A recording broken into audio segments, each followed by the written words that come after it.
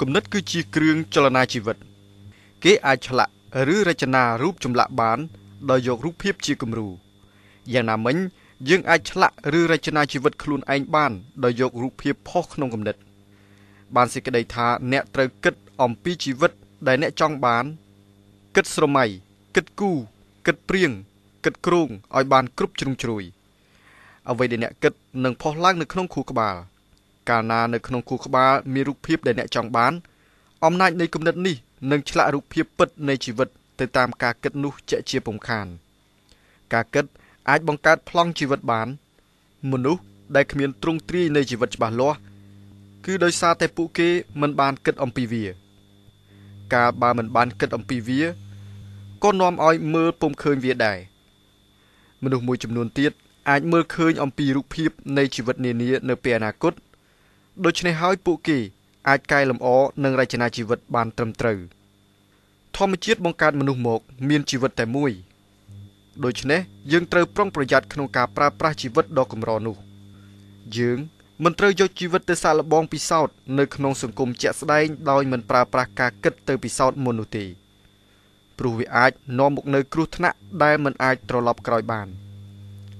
ធម្មជាតិបានបង្កើតមនុស្សមក ជាមួយខួរក្បាលដ៏ល្អវិសេសវិសាលបំផុត ដែលយើងអាចប្រើប្រាស់ក្នុងការពិសោធន៍ជំនួសឲ្យការពិសោធន៍ជីវិតជាក់ស្ដែងបាន យើងត្រូវគិតឲ្យបានច្រើនលានដង មុននឹងសាកល្បងធ្វើម្ដងបើសិនជាយើងគិតខុសយើងអាចកែប្រែបាន តែបើយើងធ្វើខុសវាអាចហួសពេលកែប្រែបានសួរឲ្យគំនិតរបស់យើងខុសនៅក្នុងខួរក្បាលកុំអាចបញ្ចេញមកតាមសកម្មភាព ការបញ្ចេញគំនិតខុសនៅក្នុងខួរក្បាលគឺជាគំនិតព្រៀង ចំណែកការគិតខុសនៅក្នុងសកម្មភាពនាំមកនៅគ្រោះថ្នាក់សូមប្រើការគិតសម្រាប់ជាគ្រឿងប្រដាប់ប្រជនាជីវិតឲ្យបានត្រឹមត្រូវមុននឹងឆ្លាក់ជីវិតចេញក្រៅដោយខុសបំណងអ្នកនឹងធំដោយអ្វីដែលអ្នកគិត ការគិតមានអំណាចក្នុងការកំណត់ទំហំនៃជីវិតបាន អ្នកគិតប៉ុណ្ណាជីវិតអ្នកប៉ុណ្ណោះព្រោះអំណាចនៃការគិតនឹងស្ថិតនៅក្នុងអនុសម្បញ្ញៈវាពង្រីកអារម្មណ៍ប្រាជ្ញា កម្លាំងលទ្ធភាពនិងសមត្ថភាពរបស់មនុស្សមនុស្សគិតថាខ្លួនមានជីវិតប៉ុណ្ណានោះជីវិតនឹងស្ទុះរីកធំប៉ុណ្ណឹងដែរ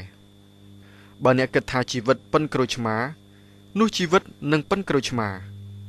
បើអ្នកគិតថាជីវិតប៉ិនក្រូចខ្លងនោះជីវិតអ្នកនឹងប៉ិនក្រូចខ្លងបើអ្នកគិតថាជីវិតប៉ុនផែនដីនោះជីវិតអ្នកនឹងរីកធំប៉ុនផែនដី ទំហំនៃជីវិតរបស់អ្នកអាចរីកធំដល់កម្រិតណា អាស្រ័យទៅលើការគិតរបស់អ្នកកាលណាអ្នកគិតតូចនឹងបានជីវិតតូចកាលណាអ្នកគិតធំអ្នកនឹងបានជីវិតធំព្រោះថាការគិតធំនោះនាំឲ្យកើតរូបភាពធំនាំឲ្យកើតឆន្ទៈធំនាំឲ្យកើតមហិច្ឆតាធំនាំឲ្យកើតធម្មពលខ្លាំងនាំឲ្យធ្វើកិច្ចការធំនាំឲ្យបានផលធំនាំឲ្យคล้ายជាមនុស្សធំកសិករម្នាក់ដាំដើមខ្នុរតាមបច្ចេកទេសមកពីប្រទេសចិន គាត់បានដាក់ក្រឡបង្ហូរទឹកមួយនៅគល់ខ្នុរ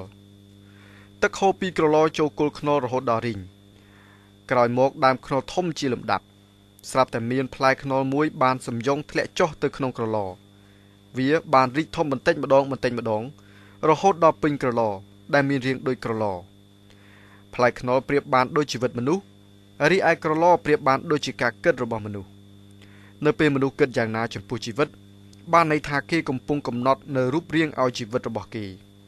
ជីវិតរបស់គេនឹងរីកចម្រើនធំត្រឹមតែទំហំនៃការគិតនោះបើចង់ឲ្យជីវិតធំតាមក្តីប្រាថ្នា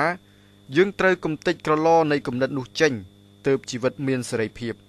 និងលទ្ធភាពលូតលាស់ទៅតាមកំសួលនៃសមត្ថភាពរបស់វាជីវិតមនុស្សមានទំហំនិងរូបរាងទៅតាមការគិតរបស់មនុស្សនៅប្រទេសជប៉ុន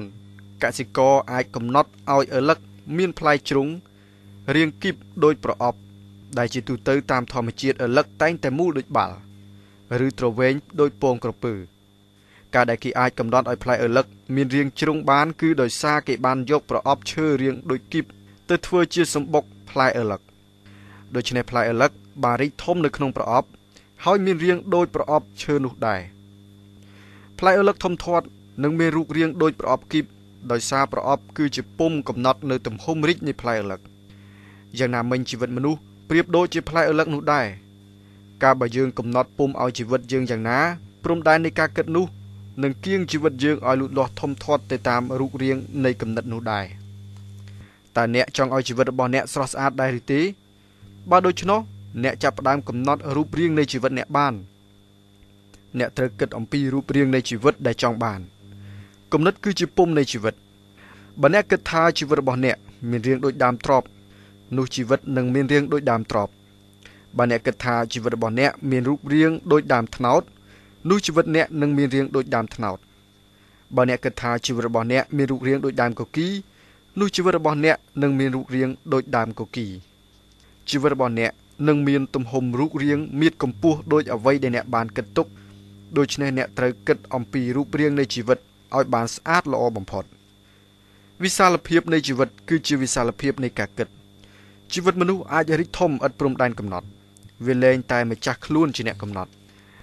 គឺថាអ្នកគិតថាជីវិតរបស់អ្នកអាចរីកធំប៉ុណ្ណានោះជីវិតអ្នកនឹងធំទៅតាមការគិតនោះឯងប្រសិនបើអ្នកគិតថាជីវិតរបស់អ្នកនឹងរីកធំប៉ុនសមុទ្រនោះអ្នកនឹងប៉ុនសមុទ្រប្រសិនបើអ្នកគិតថាជីវិតអ្នកប៉ុណ្ណានោះជីវិតអ្នកប៉ុណ្ណោះពីព្រោះថាអំណាចនៃការគិតមានវិសាលភាពរុញពង្រីកលទ្ធភាពទៅតាមទំហំគំនិត នៅពេលអ្នកចាត់ទុកឬគិតទុកថា អ្នកគឺជាអ្វីភ្លាមនោះអំណាចនៃការគិតនឹងជំរុញធម៌ពលបាច់សាច់ពេញរាងកាយធ្វើឲ្យកោសិកានៃរាងកាយទាំងអស់ស្ទុះក្រោកឡើងពង្រីកខ្លួនទៅតាមការគិតភ្លាមនោះរាងកាយទាំងមូលរបស់មនុស្សគឺទទួលរងការស្ដាប់តាមនិងធ្វើតាមបញ្ជានៃការគិតបើអ្នកគិតធំអំណាចនៃការគិតនឹងពង្រីកជីវិតអ្នកឲ្យធំបើអ្នកគិតតូចអំណាចនៃការគិតនឹងពង្រួមជីវិតអ្នកឲ្យតូច គិតប្រកបដោយសមាធិការគិតគឺជាដំណើរការនៃអនុសម្បញ្ញៈទៅលើរឿងអ្វីមួយ ដើម្បីឆ្លុះបញ្ចាំងរាវរកការពិតឬដើម្បីស្រមៃឲ្យកើតបានទៅជាអារម្មណ៍ណាឬក៏លទ្ធផលអ្វីមួយរីឯសមាធិគឺជាការរក្សាលំនឹងនិងទិសដៅនៃអារម្មណ៍ដើម្បីត្រៀមជំរុញការគិតឆ្ពោះទៅកាន់គោលដៅណាមួយឲ្យជាក់លាក់ការគិតកើតចេញពីការជំរុញនៃធម៌ពលអារម្មណ៍និងត្រួតត្រងដោយធម៌ពលរាងកាយជនដែលមានកម្លាំងកាយខ្លាំង និងកម្លាំងចិត្តខ្លាំងជននោះនឹងគិតបានខ្លាំងជនណាខ្សោយកម្លាំងកាយនិងកម្លាំងចិត្តគឺមិនអាចជំរុញឲ្យមានការគិតមានសន្ទុះខ្លាំងឡើយដូច្នេះអ្នកត្រូវបំរុងរាងកាយនិងចិត្តទើបបង្កើតអំណាចនៃការគិតបានអស្ចារ្យការគិតប្រកបដោយសមាធិគឺជាការគិតប្រកបដោយអារម្មណ៍ស្ងៀមស្ងាត់អារម្មណ៍នឹងថឹងអារម្មណ៍មូលស្ថិតនៅក្នុងគន្លងតែមួយទិសដៅតែមួយ និងមានគោលដៅតែមួយច្បាស់លាស់ជាក់លាក់ ការគិតប្រកបដោយសមាធិមានល្បឿនជ្រៅឆ្ងាយប្រកបដោយធម៌ពលនិងកើតអំណាចដូចជាពិលឆ្លោះបានឆ្ងាយដោយសារមានការច្រានប្រមូលពន្លឺកុំឲ្យបែកសាយទយោទឹកអាចបាញ់ទឹកបានឆ្ងាយនិងខ្លាំងដោយសារមានទយោទៅរាំងគៀងមិនឲ្យទឹកបាចសាយចេញក្រៅសេះបោលទៅមុខដោយសារមានរបាំងភ្នែកមិនឲ្យក្រឡេកមើលឆ្វេងឆ្វាយជាដើមមនុស្សតែងគិតជាប្រចាំប៉ុន្តែការគិតនោះ មិនញ៉ាំងឲ្យកើតការសម្រេចអ្វីក៏ដោយសារតែគេគិតគ្មានសមាធិដែលធ្វើឲ្យខ្សោយធម៌ពលជំរុញលបឿននៃការគិត ការគិតដោយគ្មានសមាធិគឺជាការគិតគ្មានរបៀបគិតបែកសាយគិតផ្ដេសផ្ដាសគិតនេះបន្តិចគិតនោះបន្តិចមិនឆ្ពោះទៅត្រង់ណាគិតដោយគ្មានប្រធានបទណាមួយជាមូលដ្ឋាន គិតឆ្វេងឆ្វាយការគិតដោយគ្មានសមាធិមិនអាចជំរុញធម៌ពលនៃគំនិត ចូលទៅកាន់គោលដៅបានស៊ីជម្រៅល្អិតល្អន់ឡើយ ការគិតដោយមានសមាធិគឺជាការគិតទៅលើប្រធានបទណាមួយតាមជំហាន មានលំដាប់លំដោយ និងមានដំណាក់កាលមិនបណ្ដោយឲ្យអារម្មណ៍អូសទាញឲ្យចាក់ចេញពីគោលដៅឡើយសូមកុំយកអារម្មណ៍ជ្រួលច្របល់គ្មានសន្តិភាពទៅជំរុញការគិតវាគ្មានប្រសិទ្ធភាពទេគ្មានអំណាចទេនិងមិនចេះអធិពលទៅណាឆ្ងាយពីខួរក្បាលឡើយគិតបែបនេះបានត្រឹមតែអស់កម្លាំងនិងបង្កើតភាពស្មុគស្មាញកាន់តែច្រើន ធ្វើឲ្យខូចខួរក្បាលផងដែរការគិតប្រកបដោយសមាធិបានសេចក្តីថាតម្រង់ការគិតទៅលើសេចក្តីប្រាថ្នាវាមិនមែនជាការកំណត់ព្រំដែនសីមានៃការគិតនោះទេតែជាការគ្រប់គ្រងអារម្មណ៍នៃការគិតហើយនេះគឺជាវិធីសាស្ត្រនៃការបង្កើតសមត្ថភាពនៃការគិតឲ្យកាន់តែមានសន្ទុះឃ្លាវខ្លា ស្វាហាប់មោះមុតនិងគិតបានត្រឹមត្រូវសមាធិគឺជាការបង្កើតធម៌ពលជំរុញទម្លុះគោលដៅជារឿយៗយើងទាំងអស់គ្នាតែងមានទម្លាប់គិតគ្មានរបៀប និងបែកសាយដែលធ្វើឲ្យធម៌ពលនៃការគិតបែកខ្ចាត់ខ្ចាយរត់រីអស់និងគ្មានអំណាចដល់ការស្រូបទាញឬបំផ្លែងឲ្យគំនិតទៅជាលទ្ធផល ពេលនេះយើងត្រូវបង្កើតទម្លាប់ថ្មីទៀតគឺរៀនគ្រប់គ្រងអារម្មណ៍និងបង្កើតសន្ទុះនៃការគិត សមត្ថភាពនៃការគ្រប់គ្រងការគិតរបស់អ្នកនឹងជំរុញល្បឿនទៅមុខបុកទម្លុះគោលដៅដោយកំជ្រួចដែលគេបាញ់ទៅកាន់គោលដៅណាមួយ សមាធិជំរុញការគិតបានល្អិតល្អន់ ការងារខ្លះមើលទៅហាក់បីដូចជាមានឧបសគ្គស្មុគស្មាញខ្លាំងណាស់អារម្មណ៍បែបនេះវាកើតមានឡើងដោយសារតែមិនទាន់បានប្រើគំនិតចូលទៅឬគេប្រើគំនិតលំលំតិចតួចសើសើបើដូច្នោះមែនអ្នកត្រូវតែយកវាមកគិតដោយផ្ដោតអារម្មណ៍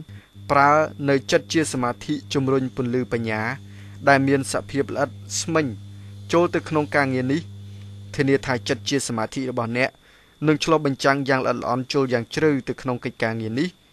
នឹងបានមើលឃើញធាតុពិតនៃការងារនោះអ្នកអាចដោះស្រាយចេញ